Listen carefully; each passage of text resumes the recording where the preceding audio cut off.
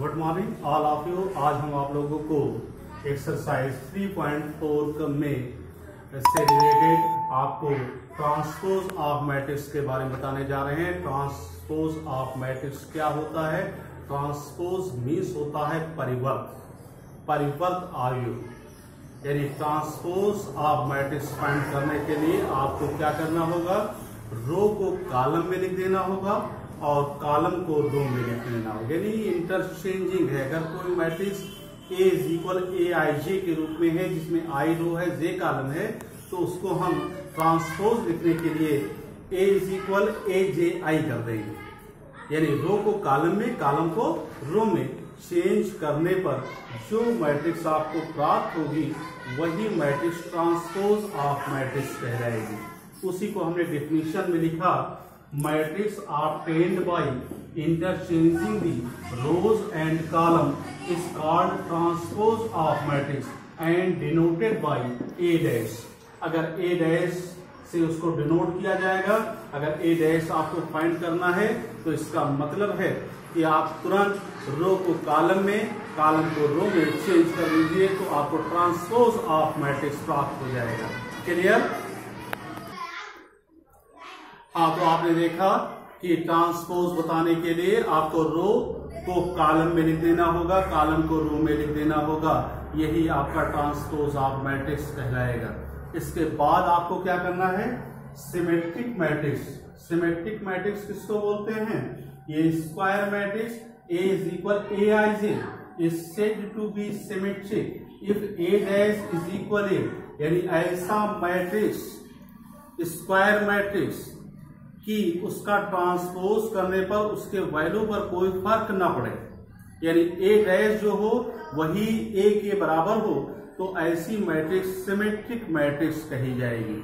यानी कोई मैट्रिक्स जो आपको दी गई है, उसका स्क्यू सिमेट्रिक निकालने के लिए उसको आप ट्रांसपोज करेंगे और अगर ट्रांसपोज की वैल्यू उसी मैट्रिक्स के बराबर मिलती है तो मैट्रिक्स सिमेट्रिक मैट्रिक्स कहलाएगा। क्लियर इसके बाद स्क्यू सिमेट्रिक मैट्रिक्स देखना है तो स्क्यू सिमेट्रिक मैट्रिक्स किसको बोलेंगे?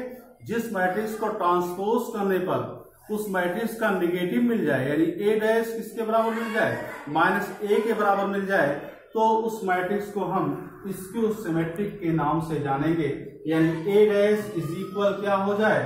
माइनस ए के बराबर हो जाए तो वो मैट्रिक्स क्या कही जाएगी? Skew symmetric matrix. आप समझे इसको? फिर से हम रिमाइंड करा दे रहे हैं, यहाँ पर। हाँ आइए इसको जो है, फिर से देखें रिमाइंड जो है, आपको करा रहे हैं ट्रांसपोज ऑफ़ मैट्रिक्स को फाइंड करने के लिए आपको रो और कॉलम को इंटरचेंज कर देना होगा तो वो आपको ट्रांसपोज ऑफ़ मैट्रिक्स मिल जाएगा, जिसे हम ए डैश से डिनोट करेंगे। और सिमेट्रिक मैट्रिक्स वो मैट्रिक्स कहलाएगी जिसको ट्रांसपोज करने पर उसके वैल्यू पर कोई फ़र्क न पड़े। यानी ए डैश इक्वल हो ए के बराबर तो उसे हम सिमेट्रिक मैट्रिक्स बोलेंगे। स्क्यू सिमेट्रिक किसको बोलेंगे? अगर ए डैश का वैल्यू माइनस ए के बराबर मिल रहा है तो मैट्रिक्स स्क्यू सिमेट्रिक मैट्रिक्स कहलाएगी। क्लियर इस डिफिनेशन को आप जो है लर्न कर लेंगे, ठीक से समझ लेंगे, और समझने के बाद आपकी एक्सरसाइज 3.4 शुरू की जा रही है। 3.4 के पहले क्वेश्चन में आपको ट्रांसपोज ऑफ़ मैट्रिक्स बताना है, यानी ए डैश की वैल्यू बतानी है। हमने पहले मैट्रिक्स को ए कहा। ए इज़ इक्वल आपको क्या दिया है? Five one by two one यहाँ पर आप देखें तो कितने रोज हैं? यहाँ पर तीन रोज आपको दिखाई पड़ रहे हैं। पहला रो दूसरा रो तीसरा रो पहले रो को हम पहले कालम में लिख दिए। दूसरे रो को दूसरे कॉलम में, तीसरे रो को तीसरे कॉलम में हमने लिख दिया और यही रिक्वायर्ड ट्रांसपोज ऑफ़ मैट्रिक्स हो गया। इसके बाद सेकंड पार्ट में देखें तो matrix A is equal one minus one two three यहाँ पर कितने रो पा रहे हैं आप? दो रो पा रहे हैं। तो दो रो को दोनों कॉलम में लिख देना है। पहला रो हमारा वन माइनस वन इसको पहले कॉलम में हम लिख देंगे। वन माइनस वन पहला कॉलम हमने बना दिया। पहले रो से हमने पहला कॉलम लिख दिया।